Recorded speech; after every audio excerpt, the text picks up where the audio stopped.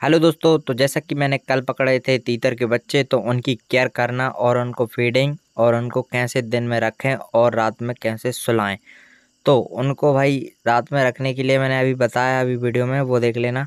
अभी क्या है, इनको खिलाएँ कैसे? एक साइड दीवार वगैरह रहे और एक साइड अपना पिंजरा रख लेना और उसको दीमक वगैरह डालना। जो भी आपके पास खिलाने की व्यवस्था हो, मैंने खाने की, फीडिंग की बता दी है वीडियो, उसमें देख लीजिए क्या फ़ीड कराते हैं हम तीतर को। और भी फीडिंग वीडियो आएँगी तीतर के चिक्स वाली। अभी इनको मैं फ़ीड करवा रहा हूँ। ये तो देसी तीतर है। फाइनली मैंने ईरानी तीतर की बनाई हुई है वीडियो तो इनको दिमाग दे दीजिए और थोड़ा दीवाल से रखिए, जिसमें ये चार से पाँच दिन में हैंड डैम हो जाएँ। आप खुले में ना छोड़ें। नहीं तो ये भाग जाएँगे। एक दिन दो दिन के लिए इनको थोड़ा पास पास में रखें। इसमें आपसे पहचान लगेंगी। अभी मैंने इसको कॉटन में सुलाया है। तो ऐसी कॉटन में डेली आप शाम को सुला दें। छः, साढ़े छः की समथिंग अभी गर्मियाँ चल रही हैं। तो गर्मियों के मौसम में क्या होता है, थोड़ा कम देखभाल करना पड़ता है, नहीं तो भाई ठंडी में अच्छे से रखना, ठीक है?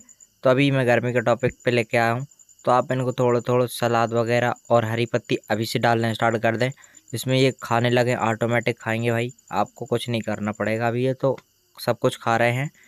और इनकी इन्फॉर्मेशन के लिए बने रहें, इनको मैं सीटी पर लगाना भी सिखाऊँगा आपको ये दस दिन के हो जाएँगे जब ये आराम से सीटी पर लग जाएँगे। अभी चार से पाँच दिन तो भाई इनको हैंड टाइम करने में लग जाएगा, बिल्कुल ऊपर बैठेंगे अपने, खेलेंगे, कूदेंगे। जैसे मेरे ईरानी तीतर है, आप और भी वीडियो देखें मेरे चैनल पर, बिल्कुल ही हैंड टाइम हो जाएँगे भाई आपके तीतर, अगर आप हैंड टाइम वाली वीडियो देख लेंगे तो।